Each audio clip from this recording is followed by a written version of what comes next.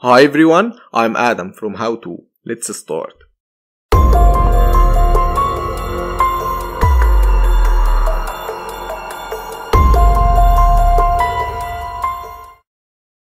The Marquee 2 play will lead you to a complete understand to know how to use the Marquee tools and to play with them. So let's start. Let's start by opening Photoshop. I'm using Photoshop CC 2020. Create a new project. I'll go with width 1280 uh, and height 720 and go with the background white. Let's start.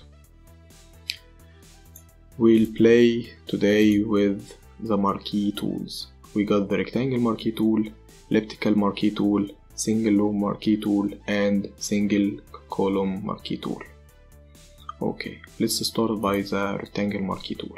The rectangle marquee tool, we can make with it regular rectangles, vary dimensions, varying shapes, everything. Or we can make with it squares by holding alt shift for windows or option shift for mac. Okay great. So what are those items.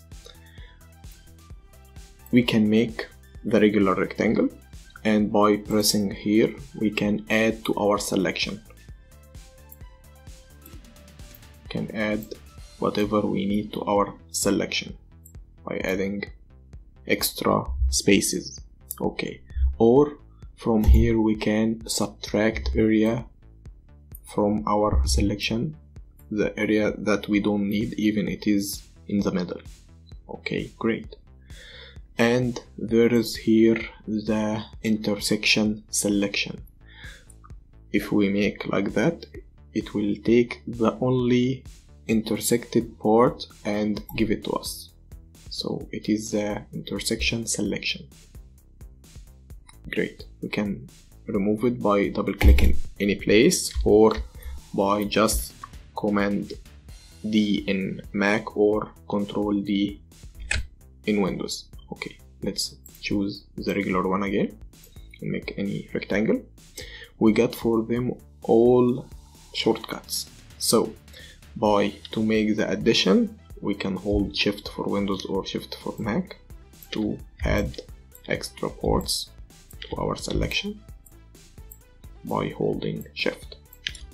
Or if we need to subtract unneeded areas we can hold alt for windows or option for mac to deselect some areas. Okay.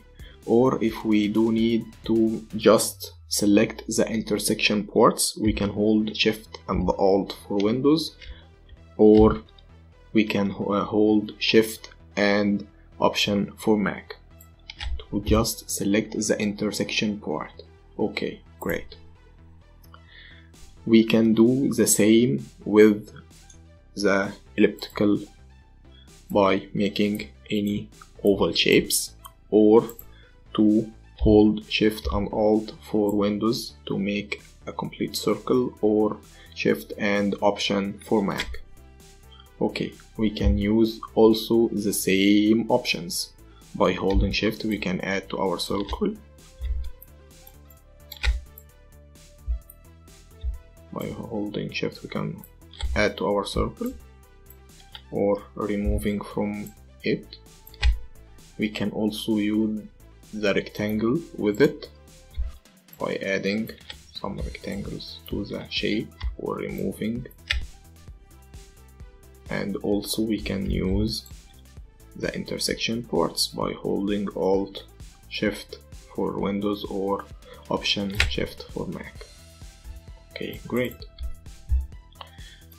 Now we'll go with the single row. The single row we can't even see it. So if we do need first we will remove the background lock by pressing on it. And we can just right click here and we got two options to resize it. There is free transform we can transform it. There is a little problem in that that if we hold it and go there there is a plank here that is removed.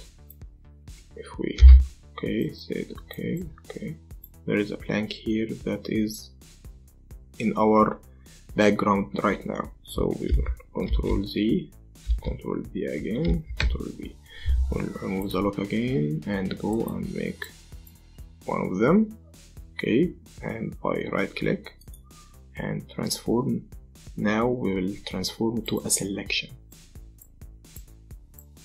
There is nothing. So we can do it better in the that kind of selection even we can rotate it can do whatever we need with it. And by pressing enter it will load and give us the dimension we do need. That's great. Okay. Okay let's go back here.